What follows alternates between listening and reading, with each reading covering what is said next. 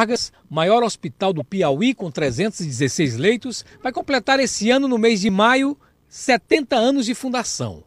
Para marcar a data, está prevista a reforma do HGV. A secretária de Saúde, Lília Martins, foi vistoriar as obras, acompanhada do diretor do hospital e representantes da construtora.